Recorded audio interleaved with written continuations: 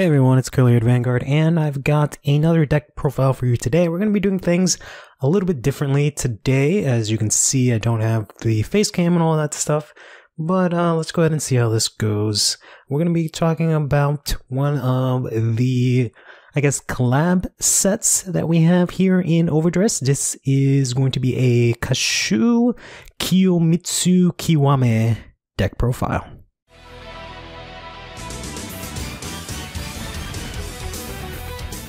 So as I mentioned, this is a collab set with Touken Ranbu, which from my understanding is some sort of web browser based game.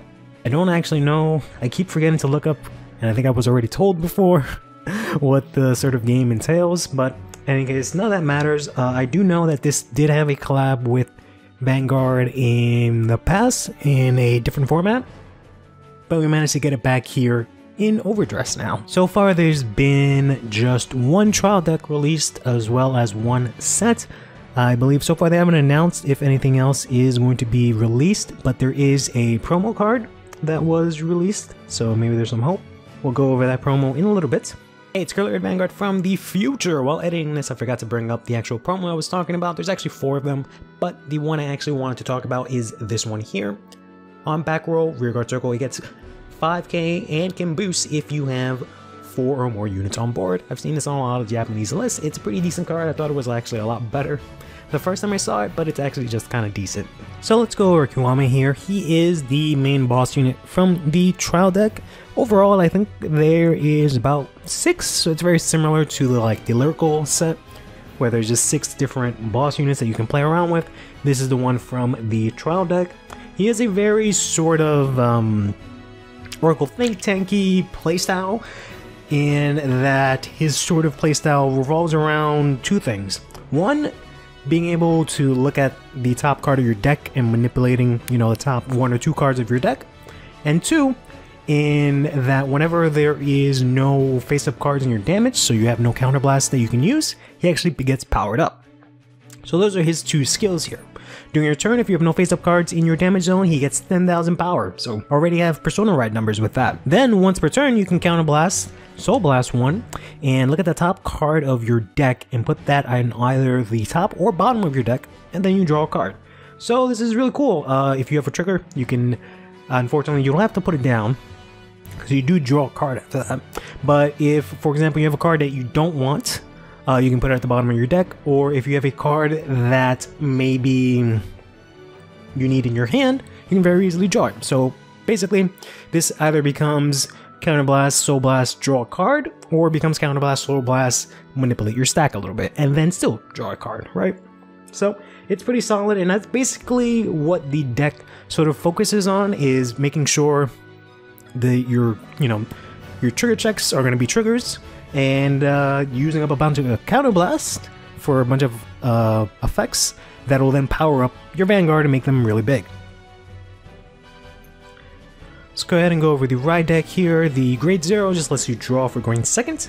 The grade 1, if you ride the grade 2 over it, you can actually look at the top card of your deck and either keep it on the top of your deck or put it into your soul, which is very interesting because uh, you do need a lot of soul specifically for you know your main Vanguard's ability, but a lot of other cards that you can use. So it is nice that this just gives you automatically soul charge one, or you can also put a trigger at the bottom of your deck, or sorry, leave a trigger on the top of your deck, and then go ahead and check that that's turn. Then finally, there is the grade two, where once you ride the uh, grade three over him, you can actually search your deck for one of these cards, which we'll go over in a little bit, and add that to your hand. Um, so that is actually pretty solid because uh, just from the ride line alone, you kind of plus two already, which is very good. And then the Yasuda is actually a very good combo piece for this deck.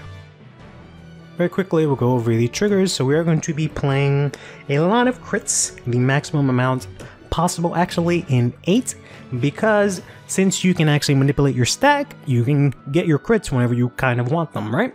Uh, you can definitely play some fronts. I think that's pretty valid. You can sort of like attack first with your Vanguard but there are some attacks that need to happen in order for you to be able to counterblast and then be able to, for example, power up your Vanguard. So it kind of really depends on how you want to play it. Um, the trigger lineup is kind of whatever. I would say maybe not too many draws. I am playing three of them here just to make sure I can get some of the pieces that I need. But you can definitely swap this out for fronts. I don't think draws are absolutely necessary. And then, of course, as usual, we're going to be playing four heals and um, four of the sort of new PG. Since this is one of the newer sets that was released, they don't have any like effect criticals, effect draws, effect fronts, or anything like that. So we're just playing vanillas of everything. The only thing that is different, however, is their over trigger. So it's not like a normal trigger, uh, it's actually a trigger order, which is very interesting. So this has its pluses and minuses. Obviously, when you check it, you still get the 100 million power, you draw, remove this card, but you give all of your units a critical. So if you drive check it during your turn, this is pretty sick, right? Um, while on the other side, it does have the downside in that it doesn't have any shield value. Um, so it's somewhat of a dead card in hand, as are many other orders. However, you can play it because it is an order after all. When you play it, you can give your Vanguard a critical, and if you have five or more cards, or I don't know if it says five or more, you'd be dead. You're not playing Greedon. But if you have five or more cards in your damage, you can give all of your units 10,000 power, which is huge. And a lot of your units already gain power on, on themselves, not to mention the fact that you can stack your deck and get a bunch of triggers on them. So this is a really good order. Um, or I should say over trigger, more specifically. You're more than welcome to play the Cray Elemental, which gives two of your units 100 million power, in case you want maybe the extra 50k shield, which I guess is valuable, but uh, this order is still pretty solid, especially specifically in this deck. So for the grade 1s, uh, we're going to be playing 6 of them. First up here we have the Fudo Yukimitsu here. This is a rather simple card. It's actually from the Trial deck. Once per turn, it's an axe skill. You can Counterblast 1, look at the top card of your deck and put it on the top or bottom. And if you put it at the bottom, this unit gets 2000 power. Gonna be playing three of these. It just, you know, lets you check top card. Um, and that's really it. it's a pretty simple effect. It's an axe skill. It's not on place. You can keep using it as 8k power. It's not like 7k or anything like that, which is great. So it's a really nice solid card. The last grade one we're going to play here is the Monoyoshi Sadamune. So this unit is very interesting. While it is a grade 1 with 7k power, whenever you put a trigger on this unit, the power buff for a trigger, it actually doubles. So instead of getting 10k, it becomes 20. The reason we play this over many of the other grade 1s which are pretty solid is because more often than not, we're gonna know when we're gonna check triggers, and we're gonna be able to manipulate our stack to make sure that we actually get those triggers, which means this is gonna be a huge, huge attacker or booster uh, well, actually, no, only booster, because only in the back row. So this unit is going to be very, very powerful to help you out. And I think, you know, this deck is the best to use this card in, because again, you can manipulate your stack, so you might as well play as many of them as you can. Next up, we have the Grade 2 that we had mentioned earlier. This is the Yamamoto no Kami Yasuda. This is actually from the Trial deck, and is a very interesting card. As I mentioned before, this is searched from the ride deck whenever you ride over the grade 2 with the grade 3. You can add this to your hand. Um, then, this actually has a very, very useful skill for this deck, where on Rearguard Circle, an Axe skill, you can counterblast 1, and this unit gets 5000 power. But, if your Vanguard is Kiwame, which is the main grade 3 for this build, you get instead 10,000 power. So this is going to be a 20k attacker. However, this is not once per turn. So you can do two things with this. You can use up all of your counterblasts in order to power up this one unit, and then in addition to that, you'll actually power up your Vanguard. Because once you don't have any face-up cards in your damage zone, your Vanguard is a 23k attacker, which is really good. So this is very good for just, you know, getting rid of your extra counterblast, which I know sounds like a very weird thing to say, but that's just kind of how this deck works. Uh, so it's nice that you can just do it one at a time, however many you want during one turn. Next up, we have another grade 2 here in the Shoku Daikiri Mitsuda. So there's a lot of good grade 2s in this whole nation, clan, set, whatever you want to call it. They're all super solid. and you can kind of use any of them or most of them in any of these builds. I decided to go with this card here because essentially what this does is when I place this from hand, if my opponent is at grade 3 or greater, I can counterblast 1, give my front row 5k power. It's a nice buff to my front row, and it's a way to use my counterblast. And that's essentially what it comes down to is to how you choose what to run in this deck is how you're going to use your counterblast. He also has a second skill which could be kind of useful. If you hit Vanguard, you can Soul Blast one and choose one of your opponent's rear guards that's in the front row and retire it. So there is a little bit of control. There is a build, um, or I should say there is a boss unit that kind of focuses on retiring. So you can play this however you want. Kiwame is the most flexible because his sort of ability and condition don't really rely a lot on any of your other cards. So you can, for example, put in a bunch of cards like this, which lets you retire and have a more control-like build, since, you know, having no counterblast actually ends up helping your Vanguard in the end, and you can even then power up your units by checking your uh, triggers that you can sort of stack. So Likewise, we're going to be playing three of another one of the triple rare grade 2 here. This is the Mikazuki Munechika. This is actually the cover art for the sets. Um, by the way, uh, we did do an opening for this uh, over on the channel. You'll have that. You'll see that somewhere in the iCard uh, up up here up up, up here somewhere, and in the description down below because I did actually open up all these cards on the uh, channel. But in any case, uh, the Mikazuki Munechika is actually very interesting. Um, so depending on how many cards you have in your damage, you can activate all of the following effects in order. If you have three or more, you get 5k. So that's not bad. If you have four or more, you can actually look at the top card of your deck and put it on the top or bottom of your deck. Very good, helps this deck out a lot.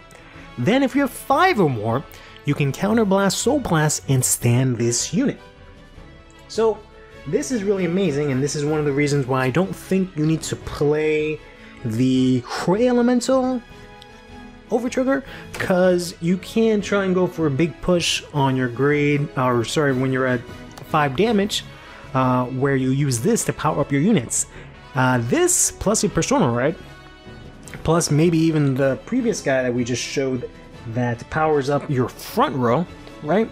So that's 5 plus 5, plus 10 plus Persona Ride 10, that's a good chunky 30 plus. That's a 40k rearguard that can attack twice and also check the top card of your deck and um, help out your Vanguard. So I think this is a very useful card. However, it is something that's kind of like a dead card early on. It's really only useful once you're at 4 damage specifically. Uh, before then, you know, it being a 15k attacker is nice, but it doesn't really give you a lot of value until really late game. Which is why I'm only playing 3, you might even be better off playing only 2 of them, um, since usually you're really only going to be able to use that last effect once in the entire game, unless a miracle happens. Um, so 3 might be a bit much, but that's up to you. Next up, our next yellow shiny card here is going to be the Suda uh, Tsurumaru Kuninaga here. This is a very interesting card, and this is one of the cards that made me want to build this uh, deck specifically. So what this does, this is a grade 2. At the end of this battle, at the end of the battle that this unit attacked, doesn't have to hit, if your opponent's Vanguard is grade 3 or greater, Counterblast 1, Soul Blast 1, choose one of your rear guards in the same column as this unit and swap its position with this unit. So what this does is it gives you multi-attack. Uh, that sounds really good to me. I don't know exactly how, for example, this works with, for example, this card. Because it says that in the back row, if its attack would be increased, you double the increase. But if I have it in the back row and then I switch, um, since I'm not applying a trigger at that point, the trigger is already applied, I'm assuming its power should stay huge. Right? So that is an option for that. But what I'll mostly be using, or planning on using this card for, or with I should say, is this here, the Ookurikara. This is another grade 2 here, we're going to be playing two copies of this. Uh, when this unit attacks, while not boosted, if your opponent's Vanguard is grade 3 or greater, counterblast 1, and his unit gets 10,000 power to the end of that battle. If you have no face-up cards in your damage zone, however, it becomes 15 instead of 10, which is, you know, very good. Don't need to boost. Can't boost if this guy's in the back row. Then we swap them out. Can't boost because this guy's in the back row, back, back row, back row. And then you go ahead and counterblast and make this guy really huge. I think that's a really nice little combo. Uh, once I saw that, I really wanted to build this deck, and I actually decided not to do it and played a slightly different build of this deck. And then lately, I just came back to this and started playing this variant, and I'm actually pretty happy with it so far. Finally, we have two more grade 2s here. Um, we have these two guys here, uh, one, two and one of each. This is the Heshikiri Hasebe. This is from the trial deck. Um, this lets you look at the top two cards of your deck and put them in back on your deck or back on the top of your deck any order.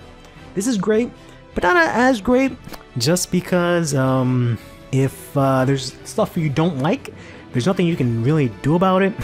Especially if you're on your grade 3, right? You're going to end up checking both of those cards anyway, so they're just not triggers. It doesn't really matter. Uh, you can definitely play a third one of these. I actually ended up swapping it out for some of the other cards that I just showed.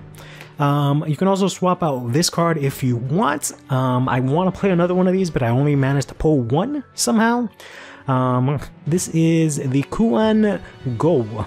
So when this hits Vanguard, you can either countercharge or soul charge too. Um, so even though the purpose of this deck is to use up all of your counterblast, there may be times when you want to use your counterblast. So I figured I might as well try and throw in a way where I need I, I can actually get some countercharge. I'll be honest with you, it's yet to actually come up, but uh, again, you can definitely swap that out for like another one of these or another one of the other cards. Finally, for the only grade 3 we're going to be playing, is going to be 3 of our main Vanguard here. Just so we can Persona Ride. You know, it's pretty easy to hit Persona Ride. We have the draws to try and get them. We can, you know, manipulate our stack to see if we can try and get it. Send anything else to the bottom.